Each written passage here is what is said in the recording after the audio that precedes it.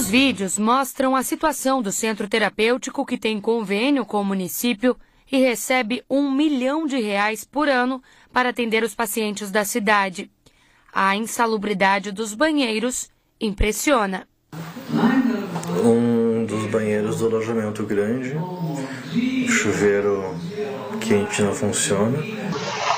Ah, além do mais, é, tiveram denúncias de agressões físicas, de pessoas, mulheres que eram trancadas no quarto, deixadas com balde para fazer as necessidades. Esse mesmo quarto também era usado durante o dia para as mulheres mais agitadas, como uma forma de castigo, deixavam no quarto com um balde, assim como uma paciente relatou ter sido estrangulada há pelo menos três vezes por um, um Em outro vídeo, um bastão de choque foi encontrado pelos fiscais. Os áudios confirmam como o objeto era usado. E a, a Margarete me mostrou o choque. Disse assim, ah, quando as gurias surtarem, tá aqui, ó. Ele apertou. Tá, mas tu tomou choque também, né? Tomei, tomei. Tu merecia? Ah, eu não sei, cara. Já disse que é daí nós, vamos contar quem é quem tava falando. Eu vi que desse tamanho, nós éramos pequenos, não tava Os fiscais foram até o centro terapêutico e ouviram os relatos dos idosos.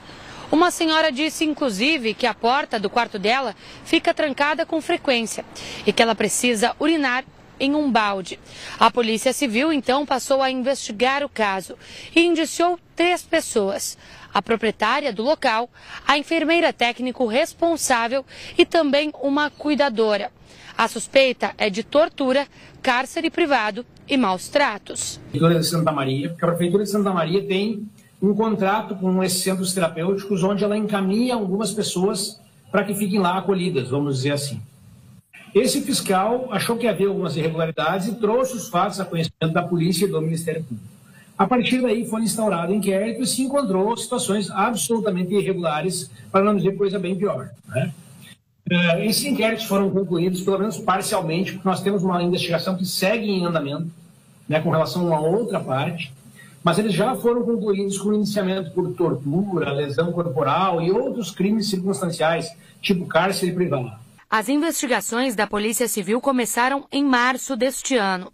O delegado Marcelo Rigoni relata situações ainda piores, como o caso de uma senhora que recebeu comida com larvas. Aquelas pessoas lá estão em condições que não são as condições ideais de higiene, Existe, por exemplo, percevejo. Tinha uma mulher numa situação uh, absolutamente indigna e, e com miíase. Miíase são larvas uh, que comem a pessoa viva. Aquela mulher estava com centenas ou milhares de larvas, né? É uma situação, uh, nem sei o que dizer disso, mas enfim. Os centros terapêuticos de Itara seguem abertos, mas receberam o prazo de 30 dias para que corrijam as irregularidades apontadas. O Ministério Público também investiga o caso.